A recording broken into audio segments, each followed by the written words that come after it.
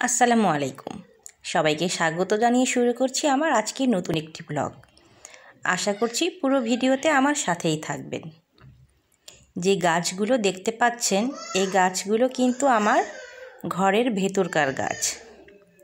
প্রতি শুক্রবারে আমি নিয়ম করে এই গাছগুলোকে রোদে রেখে দিই। অর্থাৎ বৃহস্পতিবার সন্ধ্যাবেলায় আমি গাছগুলো এভাবে বারান্দায় রেখে দিই, যাতে করে সারা রাতের কুয়াশা এবং সকালের মিষ্টি রোদটা সে পায়। তাহলে গাছগুলো বেশ ভালো থাকে। আজকের বাইরেটাও খুব সুন্দর, বেশ রৌদ্রোজ্জ্বল। সকালে প্রথমে আমি বারান্দায় গিয়ে গাছগুলো দেখে এসে এক গ্লাস পানি খেয়ে নিই। তারপরে আমি কাজ শুরু করি। অবশ্য আগের দিন রাতে আমি অনেক কাজ গুছিয়ে রেখে দিই। আজকে ছুটির দিন বলে গরুর মাংস এবং মুরগির রোস্ট রান্না হবে। আমি রাতেই সেগুলো বের করে রেখেছিলাম যাতে খুব সহজেই নরম হয়ে যায় বা বরফটা ছেড়ে দেয়। আমি এবার এগুলো ধুয়ে রান্নার জন্য রেডি করে রাখব। সকাল সকালেই আমি এগুলো রেডি করে রাখব আগে, তারপরে সকালের নাস্তা বানাবো। আসলে আমি বেশ সকালেই উঠেছি। এত সকালে বাসার আর সবাই আর অর্থাৎ আমার বাচ্চারা এবং আমার হাজব্যান্ড ঘুমিয়ে আছে। তো নাস্তা বানালে খাবে কে? এর জন্য আমি এত তাড়াতাড়ি নাস্তা বানাবো না। আমি আগে দুপুরের রান্নাটা একটু গুছিয়ে নিই।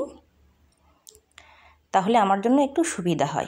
আর আমি রোজকার মশলা রোজই ব্লেন্ড করে খাই। আজকে আমার যতটুকু লাগবে আমি ঠিক ততটুকুই ব্লেন্ড করে নিচ্ছি।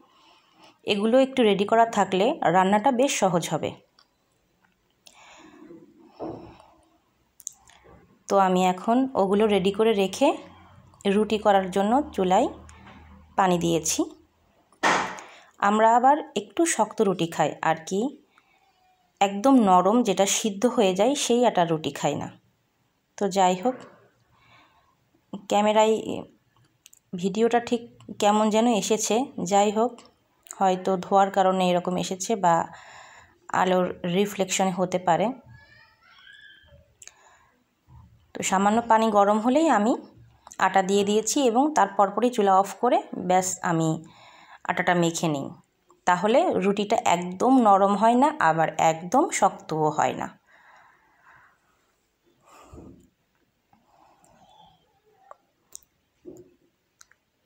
দুপুরের রান্নাটা আগে ভাগে একটু রেডি করে রাখলে ভালো হয়। এজন্যই যে নাস্তা বানানোর পরপরই আবার দুপুরের রান্নাটা চাপিয়ে দিতে হয়। সেক্ষেত্রে এ সময় যদি দেরি করি, তাহলে রান্নাটা আমার আরও বেশি দেরি হয়ে যাবে। আর সবগুলো রুটি বানিয়ে ছেঁকে রেখেছি। অবশ্য সবগুলো ছাকিনি, শুধু ছেলের জন্য দুইটা ছেঁকে আমি দিব। ও খেয়ে একটু স্কুলে যাবে। আজকে একটু স্কুলে কাজ আছে। আগামীকাল ষোলোই ডিসেম্বর উপলক্ষে ওদের স্কুলে একটু প্রোগ্রাম থাকবে। সেই জন্য ছেলেটা যাবে। ও আবার চা এবং রুটি খেতেই পছন্দ করে। যদিও এত সকালে খেতে চায় না। তো আমি ওকে আগে চা এবং একটা রুটি সেকে দিয়ে দিব।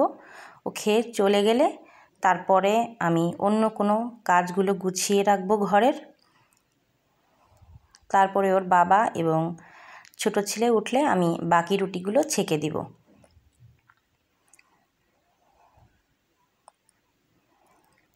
তো ছেলে স্কুলে যাবে, হঠাৎ করে বলতেছে যে, মা,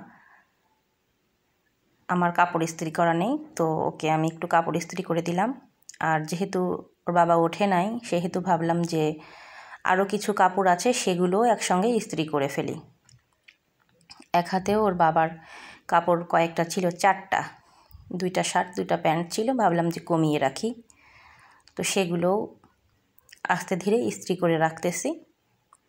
আসলে আমি একসঙ্গে বেশ কয়েকটা জমলে করি। তো এরই মধ্যে আবার ঘটনা ঘটিয়ে ফেলেছে। আমার ছেলে গত রাতে শিশু করে দিয়েছিল। মাঝখানে পুরোপুরি শিশু বললেও ভুল হবে, কয়েক ফোঁটা করে দিয়েছিল, সেটাও আমি শুকিয়ে নিলাম একটু ইস্ত্রি দিয়ে। এদিকে ছেলেরাও উঠে গেছে। আমি ওর বড় ছেলেকে বের করে দেওয়ার পর ছোট ছেলে এবং তার বাবা আর তার একটা চাচু ছিল। নাস্তা রেডি করে দিলাম। ডিম পোচ, আজকে বেশি ঝামেলা করিনি। ডিম পোচ আর দুধ চা দিয়েই তারা সকালে নাস্তাটা সেরে ফেলেছে। নাস্তা সেরে ব্যাস, ছেলে একটু রেডি হয়ে আমি বললাম যে, তাহলে ছেলেকেও নিয়ে যাও, তাহলে আমি বাসার যে কাজগুলো আছে সেগুলো একটু ভালোভাবে করতে পারব। ও থাকলে দুষ্টুমি করবে, বিরক্ত করবে। ওর চাচু আর ওর বাবা মিলে ওরা সবাই রেডি হলো। হয়ে বের হয়ে যাচ্ছে। ও আবার বাইরে ঘুরতে খুব পছন্দ করে। সেভাবে তো বেরো হওয়া হয় না। এই জন্য বললাম যে, যেহেতু তুমি ছুটির দিন আজকে বাসায় আছো, বাইরে যাওয়া প্রয়োজন হচ্ছে, ওকে সাথে করে নিয়ে যাও। আর বাইরে বেশ ঠান্ডা ছিল, ওকে শীতের পোশাক পরিয়ে রেডি করে দিলাম। ওদেরকে বের করে দিয়ে আমি এখন মশারি থেকে শুরু করে সব কিছু বিছানাপত্র তুলে, রুম টুম, ঝাড়ু দিয়ে আমি বাসার অন্যান্য যে খুঁটিনাটি কাজগুলো আছে, সেগুলো করব। আসলে বাসায় যে এত কাজ, এগুলো বলে শেষ করা যায় না। গুছিয়ে রাখতে চাইলে সারাদিন গুছাতেই হয়। আর না গুছিয়ে রাখলে আসলে তেমন একটা কাজ হয় না। তো যাই হোক, তারা এই যে চলে যাচ্ছে। আমি এখন নিরিবিলি আপন মনে কাজ করতে পারব। বিছানা টিছানা ঝেড়ে আমি রুম টুম ঝাড়ু দিয়ে আমি গুছিয়ে রাখব। তবে যতক্ষণ তারা আসবে না, ততক্ষণ একটু গোছানো থাকবে। যখনই আসবে বাসায়, সঙ্গে সঙ্গে এখানে কাপড় রাখবে, ওখানে কাপড় রাখবে। এখন তো হাসতেছি, কিন্তু মাঝে মাঝে খুব রাগ হয়, মাঝে মাঝে অনেক বেশি কষ্ট হয়। আবার মাঝে মাঝে ভাবি, ওরা না হলে করবে কে? ছোটোবেলায় আমরাও তো এরকম দুষ্টুমি করেছি হয়তো বা করতাম। আসলে আমাদের সময় তো বাইরে খেলাধুলার জায়গা ছিল, উঠান ছিল, মাঠ ছিল, ওদের তো কিছুই নাই, ওদের সব কিছু এখানে। ওদেরকে রাগ করে আর কি করব, সবই বুঝি। তারপরেও এলোমেলো দেখলে খুব গাটা জলে আর কি। যাই হোক, আমি ওদিকে গুছিয়ে রেখে চলে এসেছি দুপুরের রান্নাটা রেডি করতে। আমি প্রেশার কুকারে গরুর মাংস দিয়ে দিচ্ছি। আমি এখন সিলিন্ডার গ্যাস ব্যবহার করি। সেক্ষেত্রে গ্যাসের অপচয় কমানোর জন্যই এই ব্যবস্থা। আমি সব মশলাই অল্প অল্প করে দিয়ে চারটা থেকে পাঁচটা সিটি দিয়ে নেব। আর এ পাশে মুরগির যে রোস্টটা, সেটা রান্না করব। এটা আসলে ওইভাবে আর বলতেছি না, কারণ সবাই টুকটাক পারে।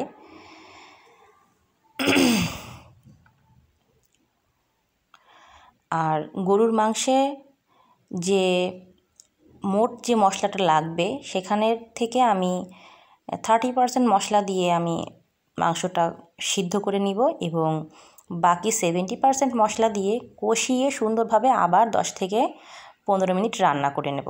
তাহলে স্বাদটা কিন্তু বেশ ভালো হবে। আর এদিকে রোস্টে কিন্তু আমি আজকে কোনো পানি ব্যবহার করিনি, সব মশলা দিয়ে কষিয়ে তারপরে দুধ দিয়ে, গরুর দুধ দিয়ে আমি বসিয়ে দিয়েছি। আর এদিকে, ওদিকে রান্না বসিয়ে দিয়ে আমি সালাদ কাটতেছি। এক হাতে সবই করতে হয়, যত তাড়াতাড়ি পারি ততই ভালো। এজন্য ওদিকে বসিয়ে দিয়ে সময় নষ্ট না করে আমি আমার মতো সালাদ কাটতেছি এবং লেবু কাটবো অনেকগুলো। অনেকগুলো লেবু কাটার কারণ আছে, সেটা আস্তে আস্তে দেখলে আপনারা বুঝতে পারবেন। যাদের বাসায় পিউরিটের ফিল্টার আছে, তারা বুঝেন যে উপরের চাকনিটা কত বেশি তাড়াতাড়ি ময়লা হয়। তো যাতে সেই ময়লাটা কীভাবে আমি দূর করি, সেটা আজকে আপনাদের সাথে শেয়ার করব। গরুর মাংসের মধ্যে আমার বড় ছেলে বা আমিও আলু খেতে পছন্দ করি এই জন্য আলু কেটে নিচ্ছি। ওই যে আপনাদেরকে বলেছিলাম না যে আমি থার্টি পার্সেন্ট মশলা দিয়ে সিদ্ধ করে নিয়েছি এবং এখন বাকি সেভেন্টি পার্সেন্ট মশলা দিয়ে কষিয়ে এবং একসাথে আলু দিয়ে এবং মাংসটা দিয়ে ভালোভাবে কষিয়ে এবার সুন্দরভাবে রান্না করে নিব। আর পাশে যে গাছগুলো দেখছেন, এগুলো কিন্তু বারান্দার সেই গাছগুলো আমি ভালোভাবে পাতাসহ পুরো টপসহ ধুয়ে এখানে একটু পানি ঝরতে রেখেছি। আমি আবার আমার ড্রয়িং রুমে বা যেখানে যেখানে এগুলো আমি রাখি, কোনোটা ঝুলিয়ে রাখি, কোনোটা, কোনো তাকের উপরে রাখি, সেভাবে রেখে দেব। জাস্ট পানিটা এখানে ঝরার জন্য রেখে দিয়েছি। এদিকে কিন্তু আমার রোস্ট রান্নাটা হয়ে গিয়েছে, আমি এটা নামিয়ে নিলাম এবং ওপরে কিছু পেঁয়াজের বেরেস্তা দিয়ে দিলাম। অবশ্য ভয় পাওয়ার কিছু নেই। এগুলো কিন্তু এই দামি পেঁয়াজের বেরেস্তা না। এগুলো আমি বেশ কিছুদিন আগে বেরেস্তা করে রেখে দিয়েছিলাম। আর এই যে দেখছেন ফিল্টারের কি অবস্থা উপরের চাকনিটার, এটা আমি গরম পানি দিয়ে ভিজিয়ে রেখেছি, কুসুম গরম পানি। আর তার মধ্যে আমি প্রায় দুটো থেকে তিনটা লেবু চিপে দিয়ে দিব। এভাবে যদি আমি একদিন, অর্থাৎ বারো ঘণ্টা রেখে দিই, তাহলে অনেকটাই পরিষ্কার হয়ে যায়। তো এটা আমি ভিজিয়ে রেখে দিয়েছি পাশে। এবার গরুর মাংসটা আগের পানিটা শুকিয়ে গিয়েছে, আবার ঝোলের পানি আমি দিয়ে দিলাম। আর ওর বাবা একটু ঝোলঝোল পছন্দ করে, সবভাবেই পছন্দ করে। ভুনা করলে একটা স্বাদ এবং ঝোল করলে আর একটা স্বাদ, তবে আজকে একটু ঝোলঝোলি করব। মাংসগুলো অনেক বেশি হাড় ছিল, মাংসের পরিমাণ ছিল খুবই কম। তো যাই হোক ঝোলের পানি দিয়ে দিলাম। এবার এপাশে মাংসটা হতে থাক, এপাশে আমি পোলাওয়ের জন্য চাল ধুয়ে বসিয়ে দিব। আমি পোলাও রান্নার জন্য যদি ঘরোয়াভাবে রান্না করি, সেক্ষেত্রে খুব মশলা দেই না। মশলা দেই না বললেই চলে। শুধু দুইটা দারচিনি এবং দুইটা এলাচ আর লবণ আর ঘি আর শেষে বেরেস্তা, এই। তাতেই খুব ভালো লাগে আর তৃপ্তি সহকারে খাওয়া যায়। আর সব বেশি মশলা দিলে খেতে এত ভালো লাগে না। তো রান্নাটা মোটামুটি বসিয়ে দিয়েছি। এখন আর তেল ছিটে যাওয়ার ভয় নেই। এজন্য আমি প্রথমে একবার ভীম লিকুইড দিয়ে বেশ ধুয়ে নিয়েছি। দেখুন, আমি চুলাটা অফ করে দিয়েছি কিন্তু। তারপরে ভেজা ন্যাকড়া দিয়ে আমি চুলা এবং চুলার আশপাশ সব পরিষ্কার করে ফেলতেছি। আর নিচের ফ্লোরটাও এখন ক্লিন করে ফেলব। অবশ্য পোলাওটা এখনও দমে আছে। সামান্য একটু সময় আরও লাগবে। তো আজকে দুপুর পর্যন্ত কাজ এগুলোই। এখন এর ফাঁকে আমি অনেক কাজ করে এসেছিলাম, রান্না বসানোর আগে কাপড় টাপড় ধুয়ে দিয়েছিলাম এবং আনুষঙ্গিক অনেক কাজ ছিল। তো যাই হোক, আজকের মতো এখানেই বিদায় নিচ্ছি। আল্লাহ হাফেজ।